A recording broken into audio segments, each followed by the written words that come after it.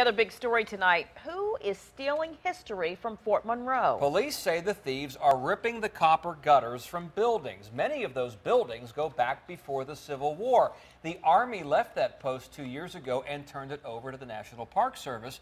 Today, your size Jason Marks is live in Hampton tonight. Jason? Yeah, Tom, it really is appalling to think that thieves would steal from a place with so much history. But when it comes to fast cash, police say thieves will do whatever they can to get that money.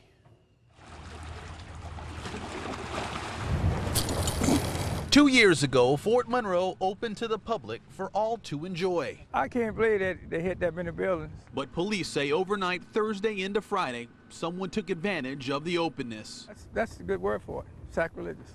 But you know, thieves have no conscience. This based on the clips, the gutter clips that we see here, it's probably the older, maybe more historical copper grade that was taken off this building. Ten buildings inside the moat, the most historic part of the fort. Buildings dating back to the late 1800s had copper gutters and downspouts ripped right off the brick walls and stolen. It's a shame because, I mean, it really is a beautiful piece of architecture. The theft happened in the section of the old post used for office buildings. There's no residents that live in this area. These buildings are not currently occupied. The placement, the location, the time of day all went into a factor, I believe, into them committing this crime. Police say it's hard to tell how much copper guttering was stolen because there were sections already missing before the crime. That makes it hard to figure out how much the copper was worth.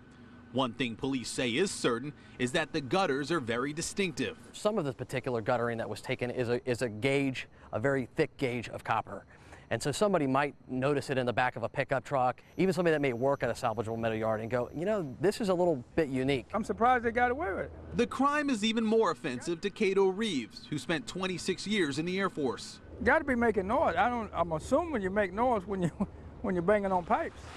Though he's not catching anything today, he hopes police will have better luck. I am amazed that somebody would even try that. Yeah, and you can see this is uh, copper right here, but this piece is much more in the open than those other pieces that were taken. Now, what makes this even more brazen is the fact that officers patrol this post 24 hours a day. There's also a Hampton Police Division field office at Fort Monroe. So obviously, uh, these, these thieves got in there, got what they needed, and then got out as quickly as possible. That's the latest here in Hampton. Jason Marks, 10 on your side.